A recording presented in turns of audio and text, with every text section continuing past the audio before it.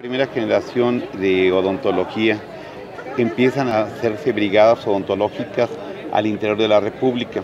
Posteriormente también les puedo decir que tenemos brigadas nosotros actualmente. En Guanajuato tenemos hay unas brigadas que, van a todas las comunidades de Guanajuato, que son con cinco unidades móviles que tenemos, tres de, tres de, tres de odontología y dos de fisioterapia.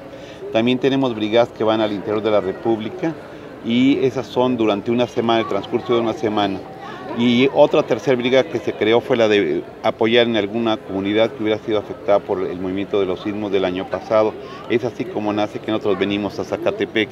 Esa es la segunda vez que participamos. La participación de nosotros, de la Inés León, de la UNAM, es de la forma que tiene que ser todo gratuito, no debe de haber ningún costo para nadie. Es como estamos viniendo aquí, pero tenemos brigas tanto en nosotros en Guanajuato, que estamos ahí, como tenemos brigas para el interior de la República, que vamos a Sonora, Michoacán, a, varios estados de la República, y esta brigada que es especial y que apoyamos mucho, que es la de apoyar a gente que tuvo problemas con los sismos, porque sabemos que no solamente hay gente por los sismos que damnificada, también hay gente damnificada social. Por eso también traemos nuestras carreras que son multiculturales, viene desarrollo territorial, viene eh, economía industrial, vienen todas las carreras que tenemos, las ocho carreras que tenemos, el compromiso es con los alumnos, traerlos que contacten con la realidad, apoyarlos y también vienen al frente de ellos, vienen maestros.